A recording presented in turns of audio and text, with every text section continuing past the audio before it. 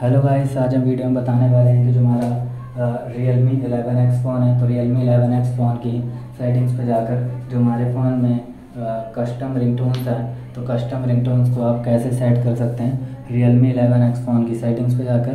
तो video start करने से पहले हमारे चैनल को लाइक करें सब्सक्राइब करें और साथ में ही बेल आइकन दबाना ना भूलें।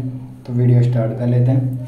तो आप देख सकते हैं कि जो फ़ोन के आइकन से हमारे फ़ोन में शो हो रहे हैं।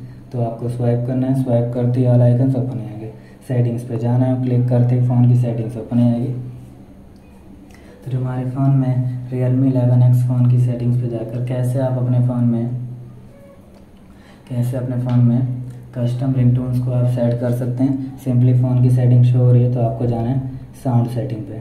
क्लिक करते ही फ़ोन की साउंड सेटिंग्स हमारे फ़ोन में ओपन हो जाएगी ओपन होती है आप कस्टम रिंगटोन्स को यहाँ से सेट कर सकते हैं। देख सकते हैं कि रिंगटोन की सेटिंग से शो हो रही है। जो भी आप कस्टम रिंगटोन्स को सेट करना चाहें तो यहाँ से कर पाएँगे। सिंपली आपको ऐड रिंगटोन्स पे जाना है। तो ऐड रिंगटोन्स पे जाकर सिंपली आपको यहाँ से कोई भी एक रिंगटोन सेलेक्ट कर लेना है, जो भी हमारे फ़ोन में डाउनलोड होगी। सेलेक्ट करके आपको स्लाइड करना है और यहाँ पर ऐड हो जाती है, जिसको सेलेक्ट करना है। और ओके कर देना है। और ओके करते ही जो कस्टम रिंगटोन्स हमारे फ़ोन में सेट हो जाएगी और हमारी फ़ोन कॉलिंग्स पे भी शो करेगी।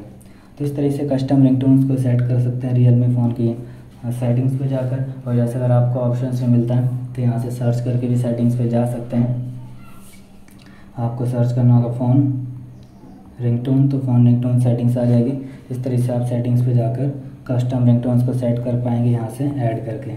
तो यहाँ से आप कोई भी रिंग उसको ऐड कर सकते हैं म्यूज़िक सॉन्ग्स वगैरह भी ऐड करना चाहें, कर सकते हैं। और सिलेक्ट करके आपको ओके करना है और ओके करते ही आपके फ़ोन में सेट हो जाएगी, जो कॉलिंग्स पे शो करती है। तो इस तरीके से आप कस्टम रिंगटोन्स को सेट कर सकते हैं Realme eleven X phone में। तो आपको वीडियो चलिए तो लाइक करें सब्सक्राइब करें बेल आइकन दबाना ना भूलें। थैंक यू नेक्स्ट वीडियो के लिए इंतज़ार